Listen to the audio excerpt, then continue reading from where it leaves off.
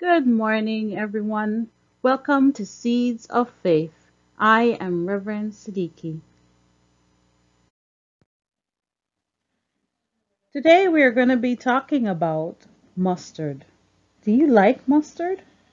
I like mustard on my hot dog, not on many other things.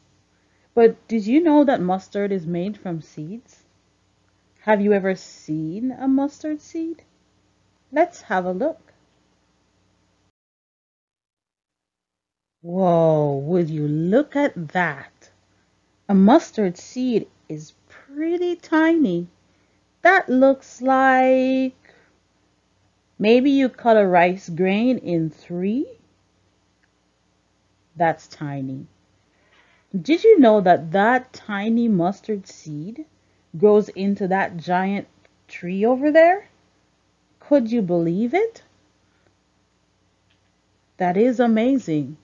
But that tells us something about potential, doesn't it?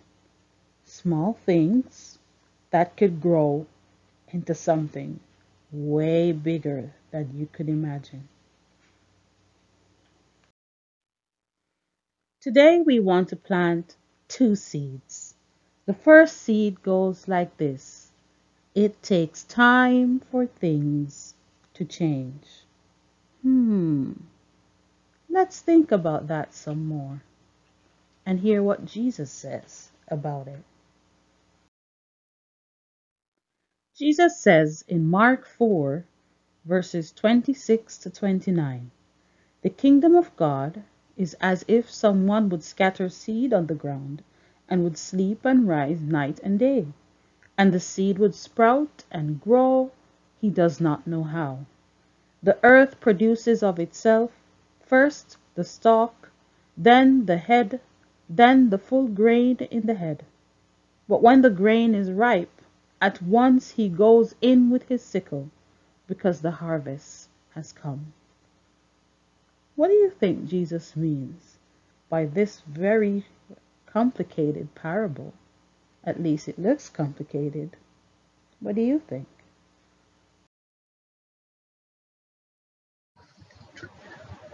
So Zahir, what do you think Jesus means in that parable? I think Jesus means there are stages in life, and those stages do not come all at once.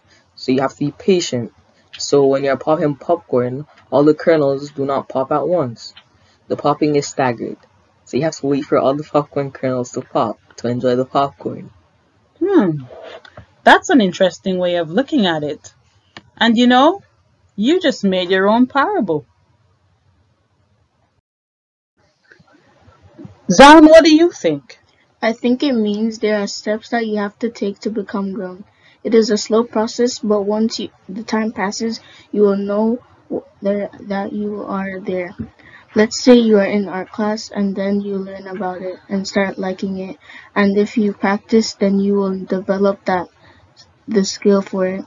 Oh, okay.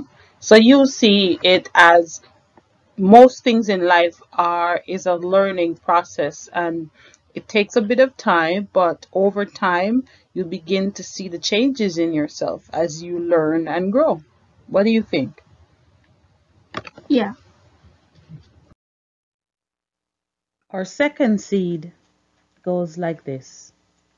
Great things can come in small packages. Have you ever heard that one before? And let's see what Jesus has to say about something like this. Jesus says in Mark 4:30 to 32, With what can we compare the kingdom of God? Or what parable will we use for it? It is like a mustard seed, which when sown upon the ground is the smallest of all the seeds on earth. Yet when it is sown, it grows up and becomes the greatest of all shrubs, and puts forth large branches, so that the birds of the air can make nests in its shade. What do you think Jesus was talking about when he gave this parable? Zayan, Hearing Jesus' parable, can you think of some things you know that start out small and grow over time? People, hmm, plant, houses, skills, knowledge, friendships, basically relationships. Hmm, those are some pretty good examples of things that can start out small and grow over time. Thanks for that. Zayden, good to have you. What are some of the things you know that start out small and grow over time? Me, you, daddy, the world, What do you mean by the world? because the there wasn't that many people in the world. Oh, that's true. The world, the population grew over time. It started out with less people and now we have way more people, right? Yeah, Yeah, thank you. welcome. So Zahir, what do you think about this second parable that Jesus is talking about with the mustard seed? Well, I think it's kind of like saying not to judge a book by its cover. Like when I'm playing basketball and someone shorter joins the game, I sometimes do not expect them to be good, but often they turn out to be really good even though they are short. Something else is thinking about bad habits, like lying. If you lie one time, you can keep you will keep doing it. The habit is going to grow and it can get out of control. Hmm. And it's cool that you raised the issue of bad habits because you can have bad seeds that grow into something bigger than you really want it to. So yeah, seeds are seeds. They will grow.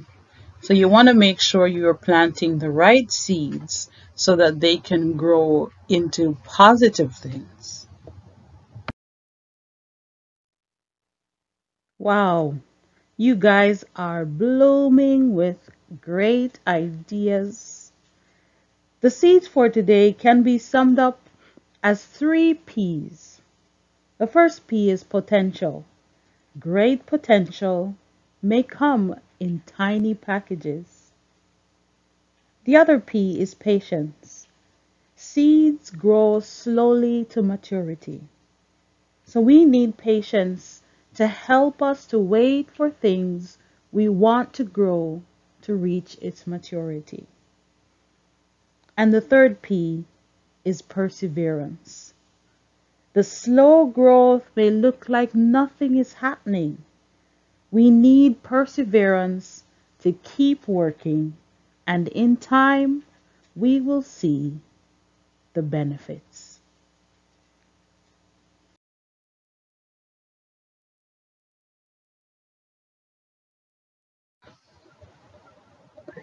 Thanks everyone for participating. Thanks Zayan, Zahir, and Zayden for sharing your ideas with us this week.